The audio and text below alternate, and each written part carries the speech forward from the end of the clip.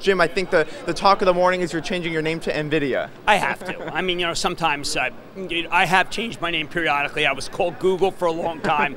uh, I was Fang for a while. Okay, let's understand NVIDIA. NVIDIA's in the middle of all of, of everything. It's uh, e- it's esports and gaming. You have to have their chip in order to win. Okay.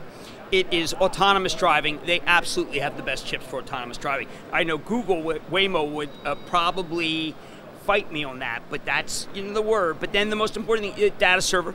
Uh, the, the, the, whole uh, data farm issue, we saw the, this combination overnight uh, with DuPont Fabros we bought. They have a chip that is uh, equal to 400 servers.